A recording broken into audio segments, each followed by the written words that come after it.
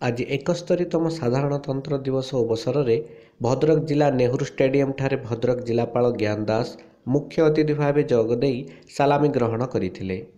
ଏହାସହ ଭଦ୍ରକ ଏକ କଳା ଓ ସଂସ୍କୃତିର ମାଟି ହୋଇଥିବାରୁ ଭଦ୍ରକ ମାଟିର ବୀରପୁରୁଷ ସ୍ୱାଧୀନତା ସଂଗ୍ରାମୀମାନଙ୍କ ବୀରତ୍ୱର ପ୍ରଶଂସା କରିଥିଲେ।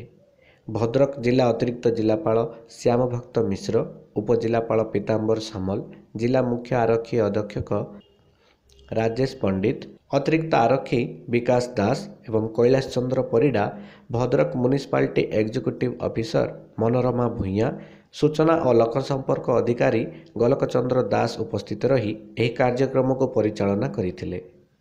ଜିଲ୍ଲାର ବିଭିନ୍ନ ସ୍କୁଲ ଓ କଲେଜରେ ଛାତ୍ରଛାତ୍ରୀମାନେ ଅଂଶଗ୍ରହଣ କରିଥିଲେ। ସ୍ଥାନୀୟ high school UP school modern English school Saraswati Shishu Vidya Mandir ଆଦି ବିଦ୍ୟାଳୟର ଛାତ୍ରଛାତ୍ରୀମାନେ ପ୍ୟାରେଡରେ ଭାଗ ନେଇଥିଲେ। ଛୋଟ ଛୋଟ ଶିଶୁମାନଙ୍କ ଦ୍ୱାରା କୌତିକିଆ ବେଶ ପ୍ରତିଯୋଗିତା ସହ ବିଭିନ୍ନ ପ୍ରକାରର ପ୍ରତିଯୋଗିତାରେ ଭାଗ ନେଇଥିବା ଛାତ୍ରଛାତ୍ରୀମାନଙ୍କୁ ପୁରସ୍କୃତ ପ୍ରଦାନ କରାଯାଇଥିଲା।